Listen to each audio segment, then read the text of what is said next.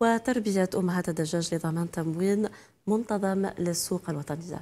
ولنقاش هذه النقاط وأخرى نسعد باستضافة هاتفيا الناطق الرسمي للفيدرالية الوطنية لمربي الدواجن السيد جلول بوداود.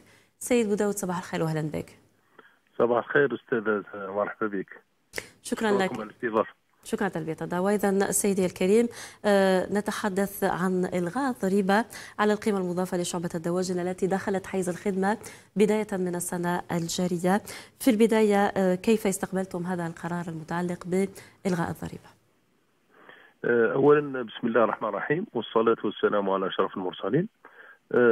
نحن كمهنيين وكمنتجين وكفيدراليه بصفة عامة. إحنا ثمنا هذا القرار اللي داته الحكومة اللي هي مشكورة على كل حال.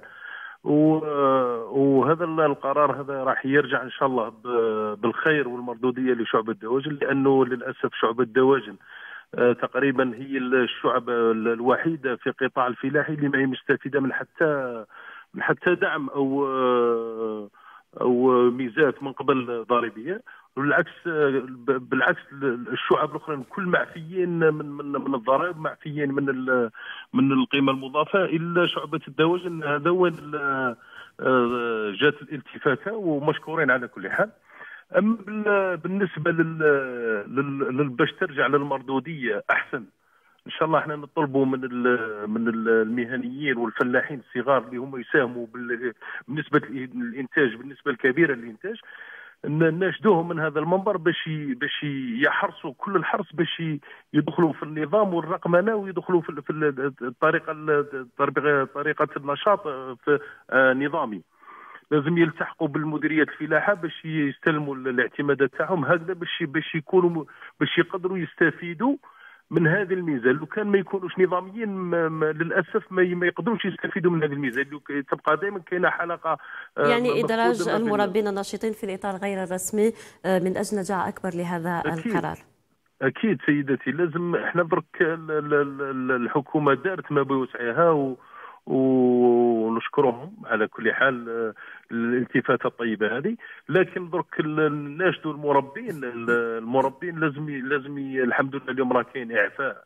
الحمد لله راهي نية حسنة للمربين. بعد ما كان أنهكتنا الظروف اللي مرت عليها الشعبة اليوم نطلبوا الناشد المربين أنهم يلتحقوا بالمديرية الفلاحة باش يكونوا نظاميين باش يسلموا الاعتمادات تاعهم وبطاقة الفلاح تاعهم باش يكونوا ينشطوا نظاميين. هكذا يساعدونا إحنا كفيدرالية ويساعدوا الوزارة الوصية في الإحصاء في القضاء على الأمراض في كل شيء. لازم تكون نرجعوا للمشروع اللي جسد عليه واللي حارس عليه السيد رئيس الجمهورية اللي هو الرقمنة.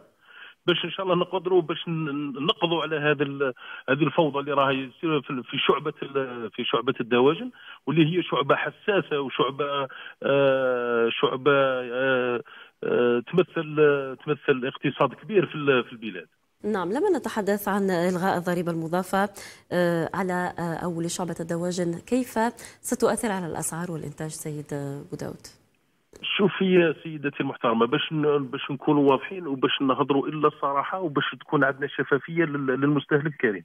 هذه القرارات اللي جات ماهيش رايحة مثلا للمستهلك الكريم يقول معناها يومين أو أو نهار أو نهارين يلقى انقص هذه ما كاش منها.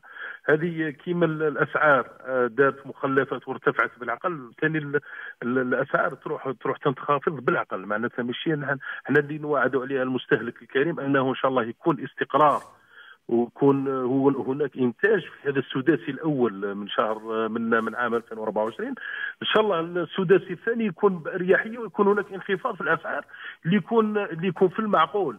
يكون هو يكون في متناول المستهلك وما يضرش المنتج. ثاني لو كان لو كان ينخفض السعر أكثر هكذا ثاني يأثر لنا على على الإنتاج ونعاود نعاود نفس الشيء نطيحوا في نفس المشكل ونعاود نرجعوا للحلقة المفرغة. هذيك إن شاء الله باش ما نعاودوش نرجعوا لها. إحنا رانا درنا اتخذنا جميع الإجراءات.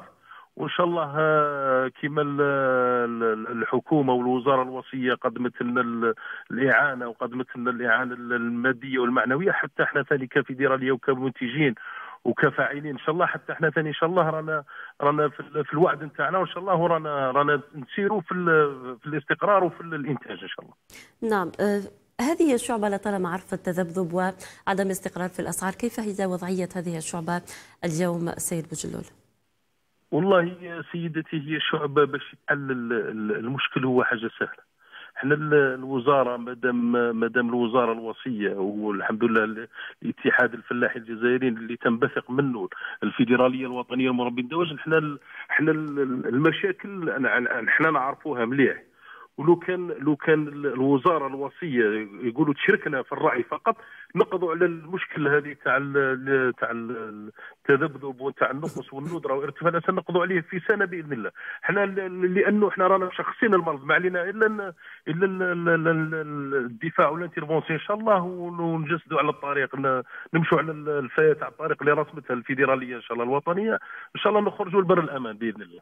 نعم سيد بوداود قلت لي أنك أنكم شخصتوا المرض لكن ما هي الحلول اللازمة اليوم آه، لازم وضعها اليوم من أجل النهوض بشعبه التواجد آه شكرا سيدتي. شوفي يا سيدتي إحنا إحنا شئنا أم أبينا؟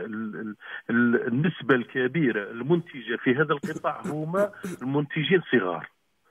هذو المنتجين الصغار للأسف آه، إحنا كفيدرالية لقينا لهم الحل ولكن للأسف الوزارة الوصية ما ما, ما مشيتش معنا في في الخط. مثلا كاين مثلا المربين الصغار كل درك هما الحمد لله جا الإعفاء أو جا الإعفاء الضريبة وجا الإعفاء. ولكن للأسف ما يقدروش يستفيدوا منه. مثلا درك لو كان يروح يقتني مثلا الأعلاف على مجمع أوناف مثلا بريمير ما ما يعدوش الوثائق ما يقدرش مثلا المجمع أو أو لي ما يقدروش يبيعوا له مباشرة.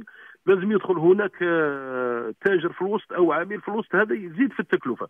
إحنا لو كان لو كان مثلا نشكلوا لجان ويكونوا مشتركة ما بين مديرية الفلاحة والفيدرالية ويكونوا ونقدروا نمشوا في إحصاء ونحصل الفلاحين هذو والمربين هذو ونعطوا لهم الطمأنينة ونجسدوا لهم ونوروا لهم خريطة الطريق. إن شاء الله هما هما راهم واجدين للعمل إن شاء الله. إحنا نظن راهو ماشي مشاكل اللي كبار حاجة صغيره برك نجسدوها على أرض الواقع وإن شاء الله فيها خير. سيد بوداود شكرا لك على هذه المداخلة وكل هذه التفاصيل. اذا مشاهدينا ننتقل للموعد المحلي الآن. صباح الخير حنان. صباحك سعيد.